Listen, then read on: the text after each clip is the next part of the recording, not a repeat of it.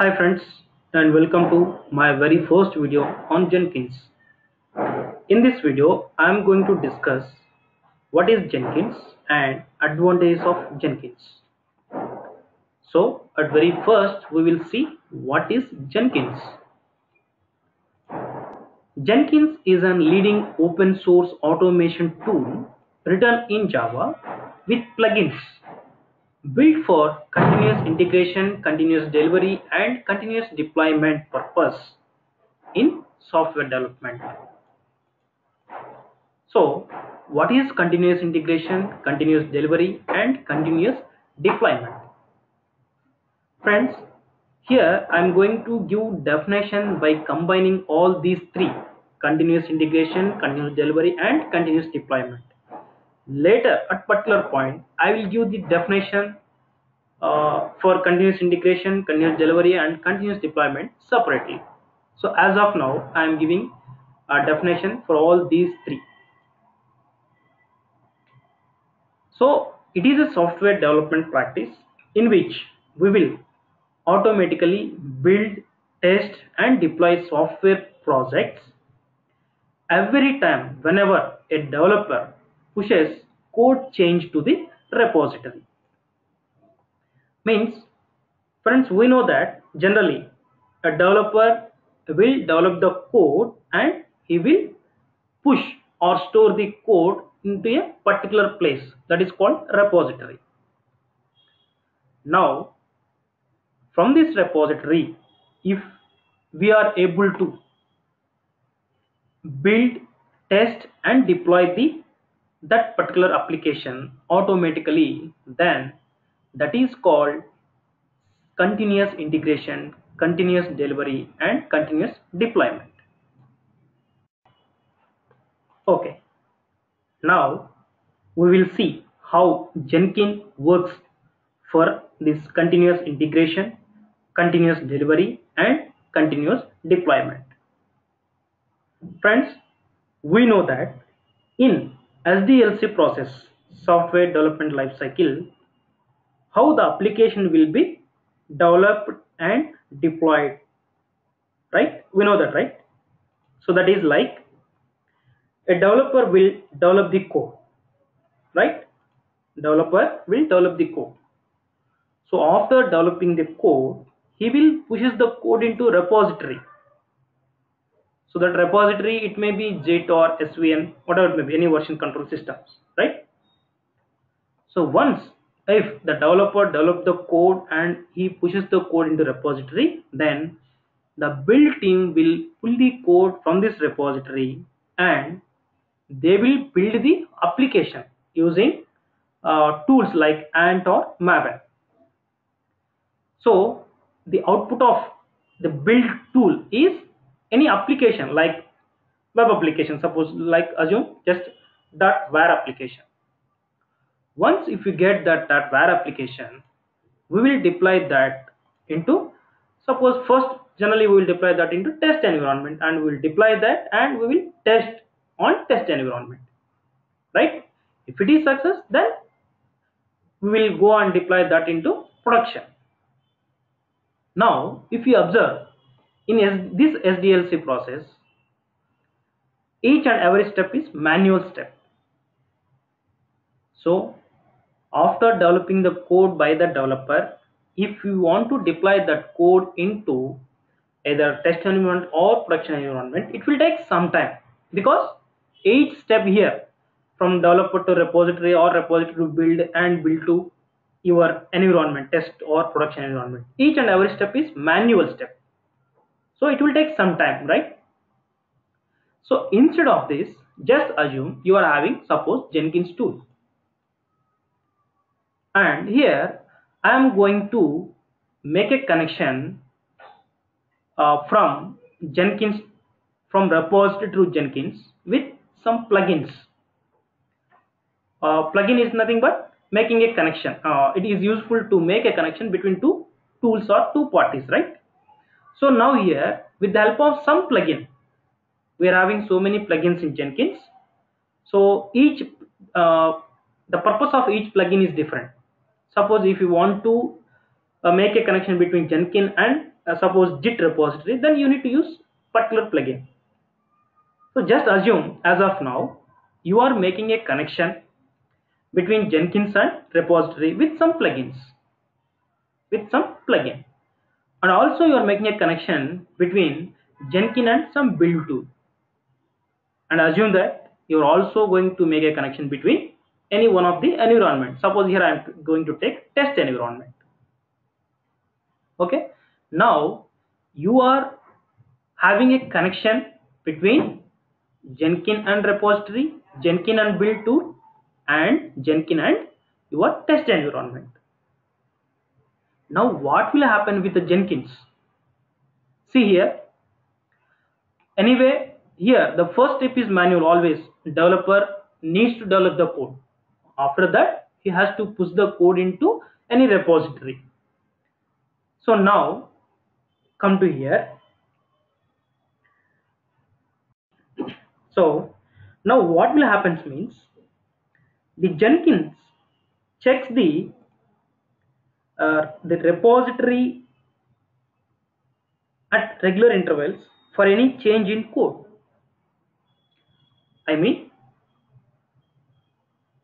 this Jenkins uh, we will uh, make uh, this step in Jenkins inside the Jenkins. We can uh, prepare Jenkins like.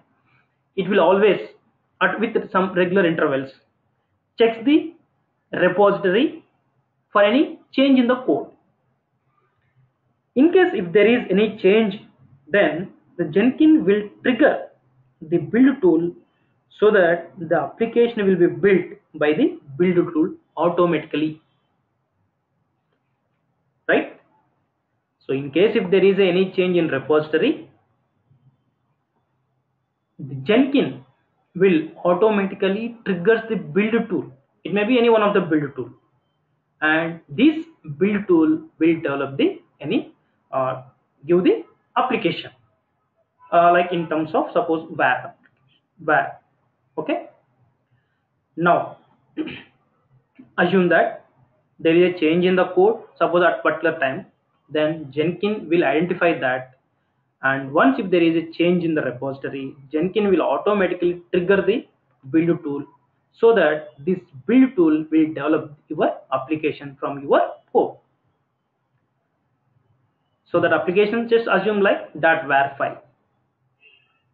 Once if you are having a WAR file or uh, suppose once this build process is successful then again Jenkins automatically will deploy that application onto suppose this test environment and it will test it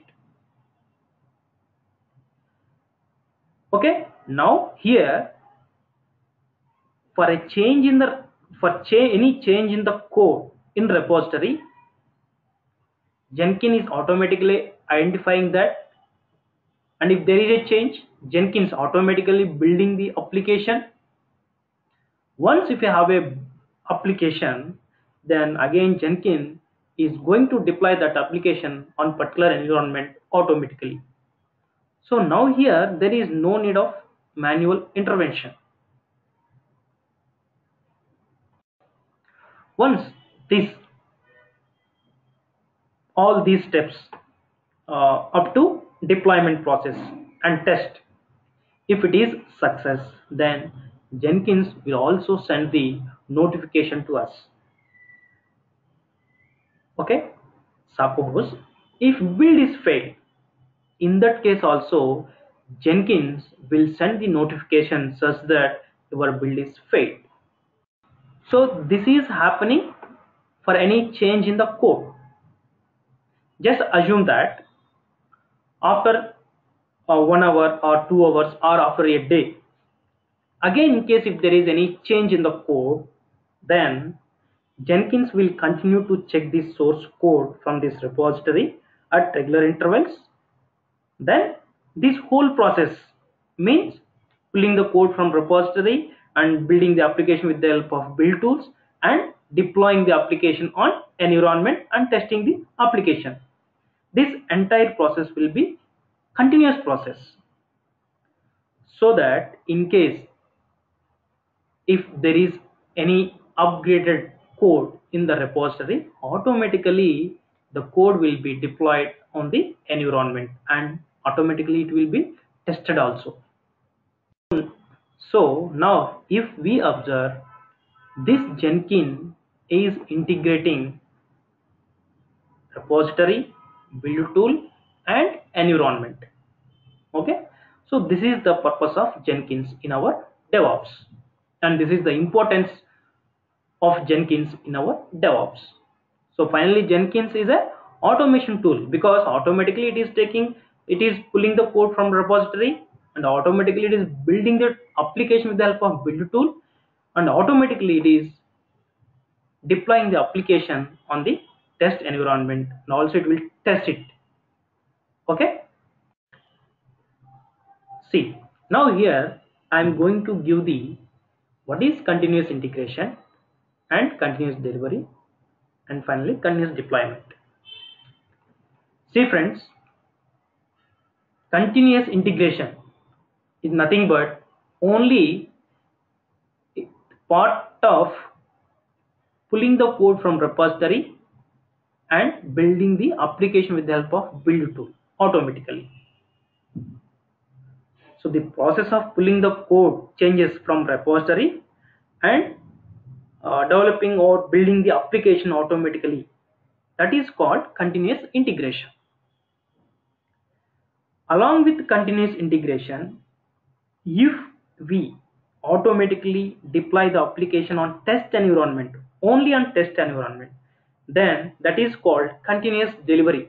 Means it is ready to move into production environment. Okay?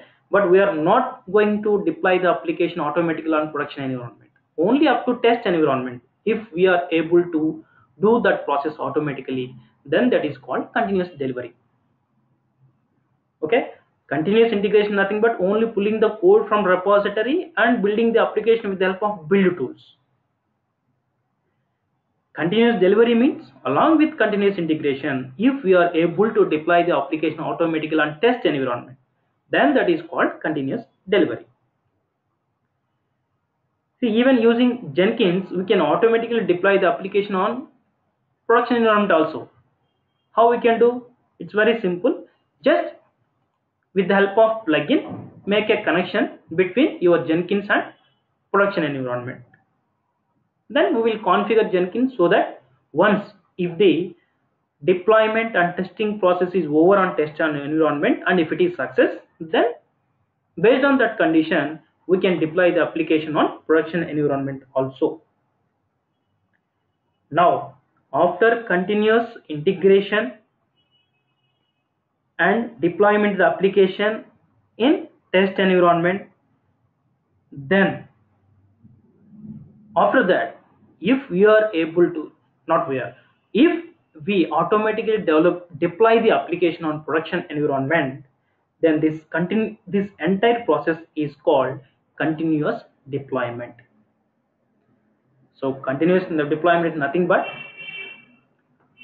from the change in the code from that point to if we automatically deploy the application on production environment after the testing on test environment.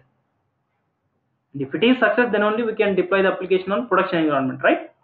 If this entire process is automatic process then that is called continuous deployment. Okay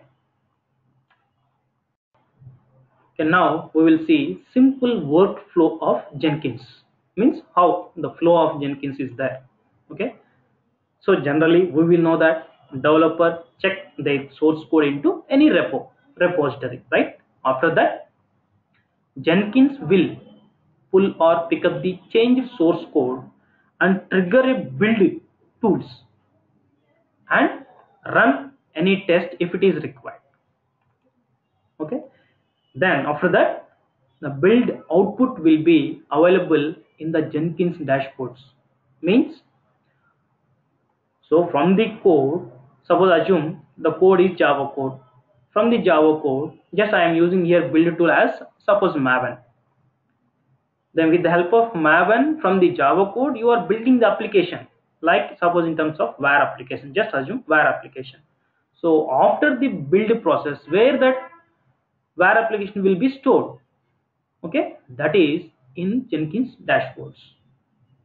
So what is exactly dashboards and exactly where it is we will see in further videos. Okay? So once this build operation is done then even we can configure after this process we can configure for automatic notification for the developer. So finally Jenkins is connected to the but very first suppose version control system then build tool then test and production environments. And also if it is required we can also integrate it with quality analysis tools and testing automation tools. Suppose quality analysis tool uh, like uh, SonarQube we can use SonarQube for quality analysis. So if you want to check your quality of your code.